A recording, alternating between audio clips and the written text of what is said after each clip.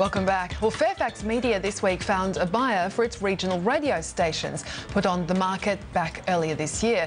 The sale to Grant Broadcasters will be completed later this month. No price was given. The company saying that the sale of its metropolitan radio stations is dependent on price. Well, James Manning, our co-host, has all the details. James, so finally a buyer for those regional radio assets of Fairfax? Yeah, I think it was about eight stations, um, a couple in um, South Australia, handful up in Queensland. I went to Grant Broadcasting, uh, big player in regional radio. I think most mainland um, states they're in, also down in Tasmania. Seem to be very good operators. Things they take over, they you know, it's. Um, you know, they watch the costs, very important when you're in regional radio these days. Probably network where you can, but um, all local breakfasts and stuff like that. No indication of, of price, but uh, what about the, the, metropolitan assets? Will Fairfax buy, find a buyer for those city radio stations? Well, there's a bit of doubt whether they will or not. I mean, um, I think we had Greg Hywood on the show earlier this year, and he said, "Look, if we can't find a buyer for what we think's a fair price, we'll we'll keep the station." So, you know, without the regionals, it's you know, it's a, it's not a bad package. Perhaps they might sell off, you know, the probably the odd one out is 96 FM in Perth, you know, might be of interest to someone like um, ARN perhaps, you know. Um, the rest, the rest are, are, quite, you know, and they're, they're maybe they're AM music stations, but I think it'd be hard to find a buyer for those. Um, so there's still a lot of talking to be going on. Um, Macquarie was the favoured um, buyer, John Singleton and, and his um, backers, but there's just there's been a bit of doubt whether you know they can sort of get their hands on the funds that's needed. It's you know north of 200 million dollars. Uh, it's a lot of money in this climate. Yeah, absolutely, absolutely. Just staying in radio, DMG Radio's uh, created DMG Create. Yeah, it's a uh, cross um, cross platform selling organisation under the sort of sales boss Jenny Parks has put it, got in some new sort of crack sales team under her, including a couple of uh, guys from programming background. I think Wade Kingsley and Andy Milne. So they're sort of looking for opportunities for for sort of brand funded content, if you like, a little bit like we were talking to Steve about for TV. This is look, doing it for radio. All right, let's just uh, turn to something where I guess there's a lot of uh, uh, brand involved, and that's the Kardashians and the, the big wedding. Kim Kardashian's wedding, of course, sure. held over the past couple of nights on E. Um, and InStyle uh, held a Twitter party um, uh, alongside this. How did it go? Yeah, well, they had um, Kim Kardashian's on their cover of the new edition of the magazine. Uh, I think it was out this week. That's there, selling it as the first interview with Kim, I think, post the wedding. Um, so they thought, look, we'll get on social media, promote ourselves, and they thought, you know, they got a, I think, a Twitter party. I think what the deal is, you get a, a specific uh, Twitter handle, and then you you'll tweet out some stuff, and then you'll generate some some chat around it, you know, and they'll help promote their um, their magazine, you know, and it's good for E, I guess, helps promote the TV show and and Kardashians, of course, very big big action on uh, on Twitter. How, how, did this show actually rate as well? Uh, did pretty well. Uh, the first night, I think it was the second most watched show on uh, subscription TV. Wednesday night, the second night, it was the third most watched show. Audience is around about 90,000 people, so it's, it's it's pretty good result, especially for E, which I guess isn't off there often up there at the top of the uh, rankings. And just going back to the, the Twitter side of it as well with InStyle, uh, any idea yet of, of just how much of a success that was driving, you know, interest? No, to be honest, I mean, we, we had a quick look. They got a bit of traffic. There was a bit of stuff going on, but I'm, we haven't sort of spoken to them since it happened to find out uh, their sort of uh, report on if they something they do often. Yeah. Uh, now, just turning to, to, newspapers and magazines, the final edition of the News of the World, we've heard about how much the, the donation is uh, that will go to those UK charities. Yeah, News International said at the time, look, we'll, when we close the paper, all the money raised from that final edition will go to charities. I think there's about four UK charities that'll each get close to a million pounds each, so it's a, probably not a bad result. Um, also, the Herald Sun here uh, releasing a new cookbook uh, featuring a lot of TV chefs. Yeah, it's a series of cookbooks. I think there's 10 in the whole range. The deal is the first one goes out free, then the, the uh, others are promoted at a low price. I think it's $2.99 each. Sort of a win-win for both parties. It'll generate some interest in the cookbooks. They're stripped-down versions of these guy, the cooks' other books, I think. You get about 25 recipes, so it'll help sell newspapers because especially the first one, you're getting a free cookbook or a chance to pick up uh, other editions. I think you'll need a uh, coupon to get the collect the whole set. Food still so popular. Yeah, yeah, it's still selling, you know, still big. And the chefs involved, I think there's Gary and George from MasterChef, uh, Donna Hay and Jamie Oliver are just three of the chefs they've got. Um, also want to ask you about Morrison Media. It's turned the, the Smith Journal from a biannual to a quarterly. Yeah, we've talked this about a couple of times on the show. How, you know, they've only been one issue so far, going to do just two a year. First one did very well, about 20,000 copies, um, so, which is pretty good at the high end of the men's market. You're dealing with titles like GQ, uh, Men's Style, or some of the competitors. So they've sort of gone and made it quarterly.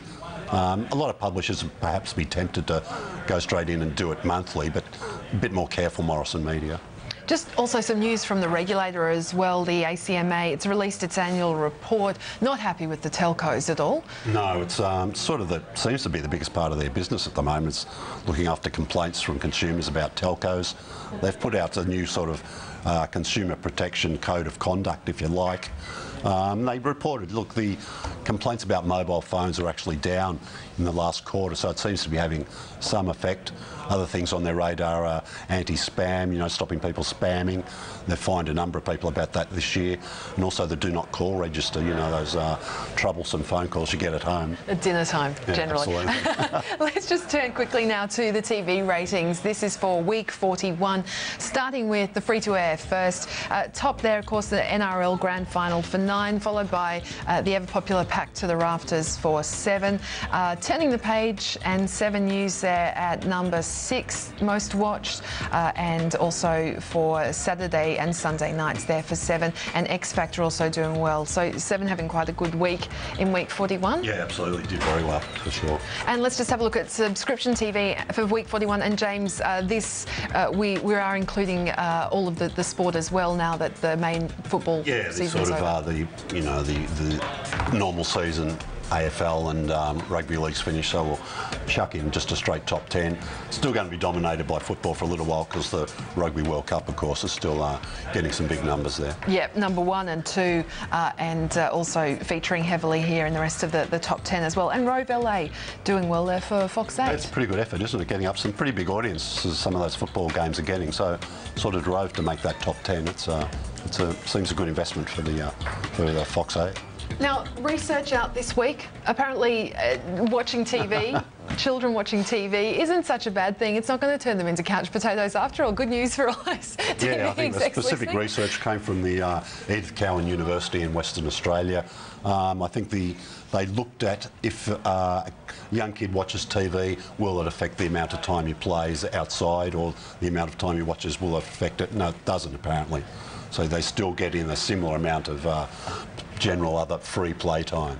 There you go, kids. So, And it's good news for the sales teams of some of the uh, free-to-air channels, I guess. If you're selling, um, uh, selling, or and for subscription TV, you're selling kids shows. That's right. They're, they're good to watch. Um, just with Foxtel, it's actually uh, announced well the return of a, another channel uh, for 2012, the FX channel. Yeah, I think FX was there in the early days of, of Foxtel was one of the options, but it's uh, it went off the platform. It's sort of been uh, rebranded internationally. It's in a lot of other territories. It's finally coming here. Uh, one of the big properties a show about zombies, believe it or not, but uh, The Walking Dead it's called. Massive cult following in the US. I think the second series has just started, so it'll be one of their sort of big properties when the, I think the channel will kick off I think it might be March next year, but it's still a little, little way off. Talk about cult following as well, or, or even bigger than cult following, I guess, and that's rugby. Uh, and nine, I guess, seeing the success of the ratings and the success of the Wallabies has, has got serious about its coverage of Yeah, the they've Rugby got a lot Cup. of criticism over the, well, probably over nearly every week until now about, you know, they've been delaying some shows. Um, last weekend they got a lot of stick for um, having a, the, using the host broadcasters, which was some um, New Zealand commentators for uh, the Australian game. So they've obviously, look, Australia's got through to the semis and they've had to rethink and thought, hello, we need to do something here. So, you know, it gets serious when Ken Slut- Sutcliffe goes on location to read the, the Sydney Evening News. So they send him over this week. He was there doing sports reports. And they've been uh, hired Ray Hadley, who's going to go over and call the um, the match. I think it's on Sunday Sunday evening this weekend. So that'll do some massive numbers. And it's interesting too. I mean, the game will be simulcast both on um, on Nine and on Fox Sports. So those Fox Sports numbers have been holding up quite strong, despite the fact that you can also get it on uh, free to air. Uh, just turning as well, although football season, as you're mentioning, the NRL, the AFL's over, there is still a lot of sports around for, for Yeah, viewers. I mean, a lot of the other codes wait till that you know, the, the finals are over and then that next weekend they, they click into gear. So we've had NBL starting up, the A-League starting up, um, the Spring Carnival Racing gets serious big time. Um, and then we saw the Bathurst too, 1000 did very well for seven. That was on the, first footy-free weekend. There's plenty of V8 supercar action still to come. I think the Gold Coast uh, next weekend and uh, there's the Sydney uh, Sydney event too, I think in December. Staying with sports too, and a key uh, sports anchor, Bruce McAvaney's re-signed with Seven for the AFL, but he'll still be involved in the Olympics as well. Yeah, even though Seven's not a rights holder, Bruce is, you know, a big Olympics buff. He knows, you know, probably one of the top Olympic broadcasters in the world. So he's re-signed with a new contract with Seven, so he'll stay on as their sort of key football commentator. But he'll work for the host broadcaster. I think he's going to call the swimming. Uh, not that we'll get to hear him here, but he'll call that for countries that just take the uh, the, the feed from the host broadcaster. James, as always, great to talk to you about all the media news of the week. Thank you. Thanks, Brady. James Manning there, editor and publisher of Mediaweek. That's all we have time for this week. Thanks so much for your company.